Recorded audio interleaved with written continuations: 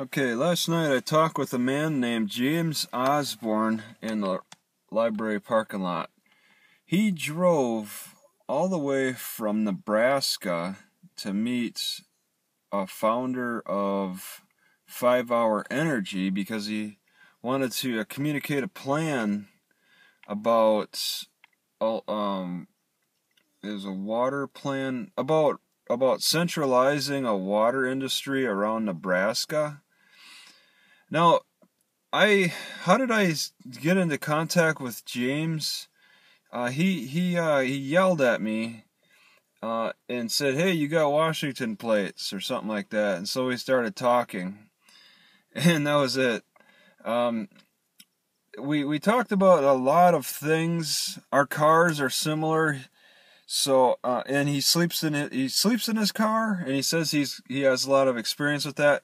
So uh, it was it was interesting to to learn. He he has a 2005 Ford something similar to a Focus. The interior is very similar to mine. He's got over 250,000 miles for 2005 Ford Focus or Ford whatever. It's it's a longer hatchback than mine. It's it's pretty much like a Ford Focus, and his car is in good shape. So it gives me some hope for my car. Um, he's he's uh, got some like water ideas, um, and he he uh, he gives himself credibility because I he told me to search his name on on YouTube because he had like two million hits for a controversial um, meeting with fracking the fracking industry executives in Nebraska. Apparently, as a backstory, the fracking industry wants to, and this happened, his uh, video came out in 2015. The fracking industry wants to set up Nebraska as a hub for dumping their wastewater, their fracking wastewater in. And Nebraska's got the, the NIMBY attitude, not in my backyard, because they're afraid this fracking juice is going to get into the their system, their water system, and and the locals uh, will get sick from that. Now, the video that's that uh, what went viral, I guess you could say. I didn't see the two million view video, but the Young Turks, which is a, a news organization that that has uh, some reputation for being popular. I don't watch them but I did watch the the video yesterday of uh, with James in it. There was a lot more commentary in this video than actual uh, like footage of of uh, James doing his uh, his uh, um, um, making his making his claims, making his statements. But uh, it was interesting what he what he did. I can describe it a little bit. It can be watched. He he pretty much took dirty water and and uh, presented it to the three fracking representatives and said, "Would you?" And and then and they took the water, poured it in three cups that were that were clear, and he's like, "Would you drink this?" Because apparently these executives said they would drink the fracking water. So he he was holding them to their word, and at that point they said no comment. Well, I didn't watch the video until after the conversation with James. One of my first questions of him was, "Where'd you get the water?" And he, he apparently got it from rainwater. I I record I tried to record uh, our conversation as as early as I could, but the button wasn't working at the time. Uh, I I wanted I was really hoping that it would have come through. I, I thought I was recording, but uh, to hear him say that he got there's there's rainwater that he got that presented that he presented to these executives. That was that was interesting. It was dirty looking water. I mean, what really made it priceless, that moment priceless, was the executives saying no comment.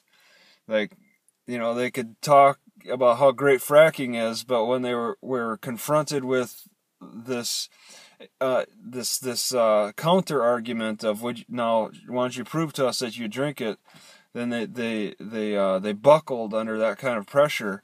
But you know, what if they asked, "Where'd you get the water? Did you get it from your tap water?" I mean, they haven't even moved into Nebraska yet, and and uh, James has brought up this argument with this dirty water that he's presenting. Would you drink it? That's that's but th- see, he's bringing a visual to the fu- the possible future of, of fracking water. Now, fracking water is supposed to be composed of all kinds of harmful things. I know it's silica and there's water, but you also, I think, need some kind of solvent too to to to break to help break the rock up. What solvents do you need to break rock up? It it might need to be stronger than the solvents used to extract chemicals out of foods. Um, but he's made his argument. It, it got pretty famous, and and uh, well, his life hasn't exactly improved. He's sleeping in his car. He's he's he says he's going to AA meetings or used to go to AA meetings. He's he's pretty much a chain smoker. When I when we were talking, he's one cigarette after another. Uh, and he's an older guy. You could see him on the video. He he he actually wore the same clothes in yesterday that he did in that video a couple years back. Overalls with an orange shirt. Uh, uh we just we talked about all kinds of interesting things. He's uh, he's a very friendly guy. I, I was curious because I thought I could pick somebody up who was crazy on video, who who actually he he had a like a, a strong belief in something. He believed in himself. I thought he was would be a little crazy, but he, he seems okay. Uh, it, there are some aspects that seem a little crazy. Driving as much as he did, he drove over a thousand miles from Nebraska to here in the, in the matter of a couple of days just to meet the the, the founder of of uh, Five Hour Energy. And James has done this before too, because he's he talked about driving over to other big big shot uh, corporate owners, rich guys, places, and and having conversations with them about his ideas.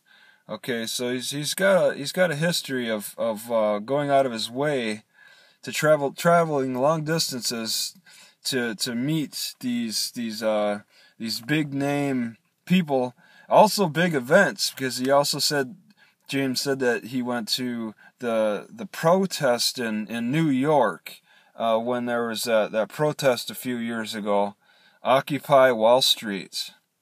So I'll leave it at that.